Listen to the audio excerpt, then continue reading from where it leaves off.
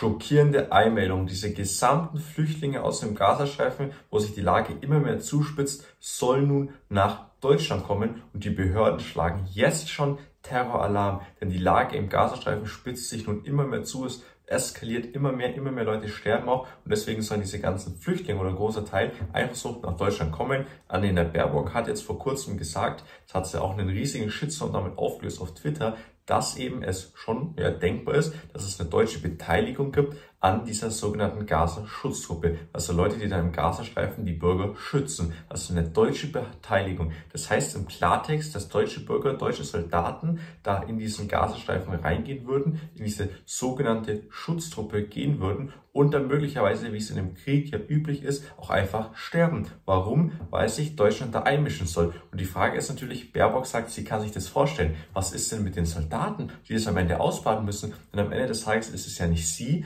wo oder in den Gazastreifen geht und in dieser Schutztruppe ja sich engagiert, wie man es mal nennen will. Nein, es wären deutsche Soldaten, deutsche Bürger und am Ende des Tages wäre es dann auch wieder, wenn dann eben wie wir sehen in dem Krieg, wie der Bürger sterben oder einfach ja die Soldaten sterben. Von Israel sterben ja auch immer noch Leute, weil es ja auch Leute viele gibt, die eben zu den Hamas halten im Gazastreifen. Einer der Gründe, warum Israel ja auch nicht aufhört. Dann würde es natürlich am Ende des Tages auch wieder deutsches Blut vergießen wahrscheinlich bedeuten, weil die natürlich nicht davon ausgenommen werden. Weil Deutschland ist ja klar, ist ja gar keine Frage auf der Seite Israel und damit von den Hamas der Gegner.